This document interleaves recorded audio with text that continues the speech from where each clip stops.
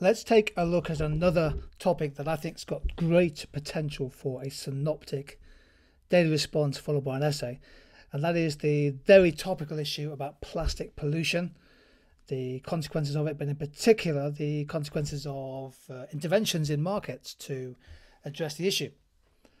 So our focus here is on the micro and macro effects of a tax on plastic products. For example, the plastic bag tax in supermarkets, but also perhaps a tax on disposable coffee cups, food containers, and other products. Again, this is a, question which invites you to think about micro and macro effects. It's just great preparation just to go through topic by topic in revision. You've already done the first two papers. Think about your microeconomic core concepts, core ideas, likewise with macro, and then just apply and analyze and evaluate to your heart's content.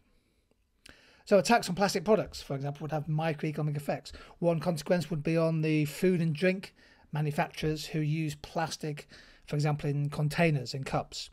Their costs would go up, their variable costs would go up, other things being the same. That might cause them to increase the prices. So you could talk about the impact on consumers, but it would also certainly have an effect on their profits, depending on the elasticity of demand, and consequently the impact on returns to shareholders. What about the impact on other businesses, suppliers who don't use plastic packaging? So, for example, producers of multi use containers, multi use products, which might increase demand. So, substitute products might benefit from a tax on plastic products, and that again could be part of your analysis using, for example, simple supply and demand analysis to show that. And of course, crucially, this would be a great opportunity for you to bring in your understanding of market failure. Plastic Pollution is both an externality from production and also from consumption. Lots of scope here for some externalities diagrams and loss, deadweight losses of social welfare in the absence of intervention.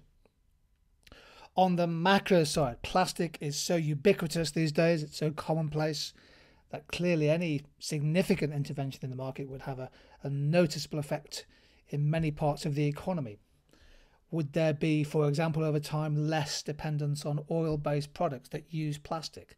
So we might see a fall in imports of products which use plastic, which would affect our trade balance. A tax on plastic products would obviously generate tax revenue for the government. How much tax would be raised? Are we talking tens of millions of pounds, hundreds of millions of pounds, or perhaps even more? How might the revenues be used?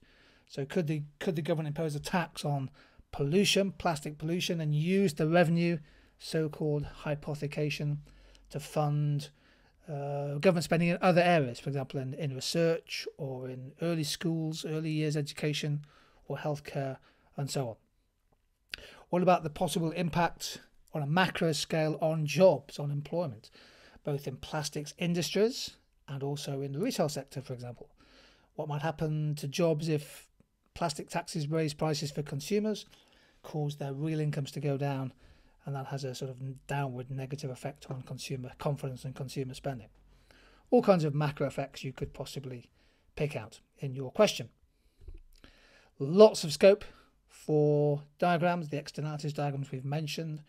You could use a simple indirect tax diagram if you wanted to be more ambitious. You could bring in a cost, revenue, and profit diagram showing, for example, the impact of an increase in variable cost on the price and profits of producers keep in mind on the synoptic paper that your core content, which perhaps you haven't quite yet used in the first two papers, that core content still does matter. Okay, so all those issues to do with potential government failure, the impact of an intervention on different stakeholders, including families of different incomes and small and large firms, that can all be brought into your evaluation, into your discussion. And likewise, you might want to think in terms of evaluation of whether a tax is not as effective as another alternative. So, should the government regulate, for example, ban certain types of plastic products, or should they try to stimulate the use of behavioural nudges? Here are two contextual examples just in the last week or so. Highland Spring, one of Britain's biggest um, mineral water um, water bottle producers, they've decided to trial the first ever 100% recycled bottle. Iceland, major retailer, have now, are now bringing in reverse vending machines to try and incentivize people to earn a little bit of cash by bringing back bottles, for example. Lots of talk about banning products that are unnecessarily made from plastic. So, for example, cotton buds and, and plastic straws. I think the Scottish government is committed to banning plastic straws. And all kinds of ways to try and perhaps encourage producers to just stop using so many different types of plastic so that it's more easy to recycle. Loads of issues here. I think plastic pollution, the effects of a tax or the consequences of pollution at a micro macro level are just very ripe for a synoptic essay. Who knows? This might come up.